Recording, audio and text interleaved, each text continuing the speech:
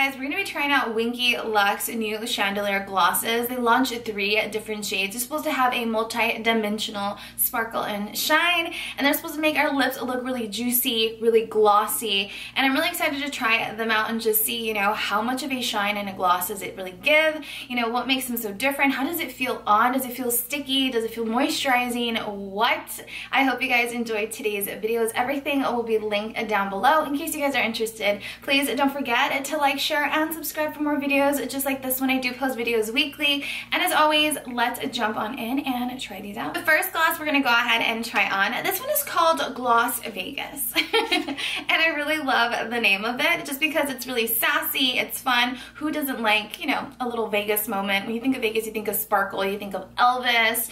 And so for you guys, I really love the packaging. It gives me Fenty Beauty vibes. I feel like Fenty you know, we keep comparing it to Rihanna, but I love the packaging. I love that it reminds me of like a diamond. Let me show you up close how she looks. And I love how shiny she is. so that is really nice. Let's see what kind of wand we are working with. Oh, so it's a foot applicator. I love a foot applicator, so that is a really nice bonus. I love that it has like a little tip to it as well. Let me show you really quickly. There's a nice little fine point to it. It is really nice. I'm gonna go ahead and swatch her in the back of my hand and oh my god. this might look really like sheer or it's gonna be like a light gloss but let me tell you she has a really pretty sheen to her. So this is a really nice I love this as like a Christmas party I know with COVID and everything but you can always wear this for maybe next year just because I love the shine to it. This is such a mood especially for the holidays or new year. It is so pretty. Love the golden champagne undertone to it as well. It is very very pretty. And that was literally you guys with one swatch. So I can't wait to try this one on. So let's try on Gloss Vegas.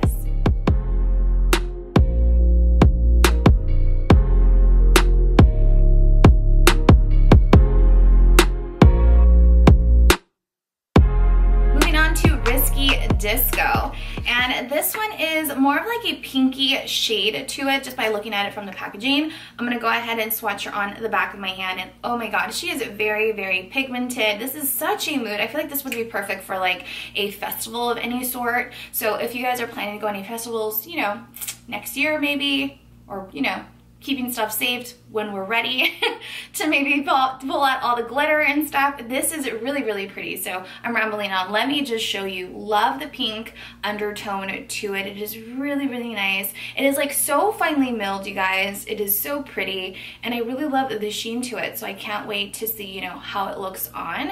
But so far it has a really pretty iridescent shimmer to it. it has like, in person you can see like the purpley, orangey um, undertones to this gloss. So let's go ahead and try on Risky Disco.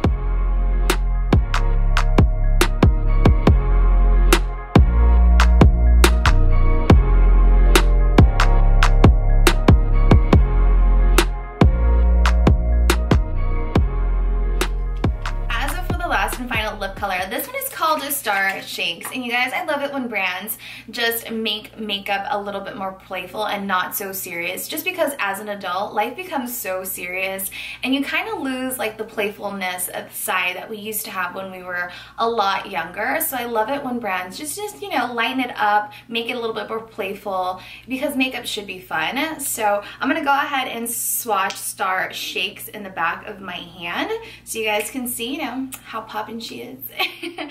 let me show you. This is basically her. I really love this look color, guys. I feel like out of the three, this is the one I would probably gravitate towards the most just because I love how neutral it is. It has a brown undertone, but still has like, I don't know what it is, has like it's like a rainbow and it's really pretty it has like a gray effect to it i don't know i just really like it i don't know how to describe this so i'm really really sorry but i love this color shade to it i feel like you would have to see it in person to really get it, you know what I mean?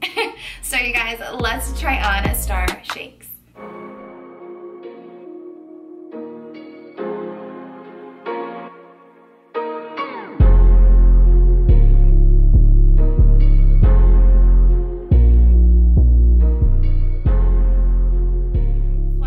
Trying all three glosses. Now let's go ahead and talk about them. So to be honest, you guys, I really love the packaging of these glosses. I love that they're fun, they're playful, they remind me of Christmas.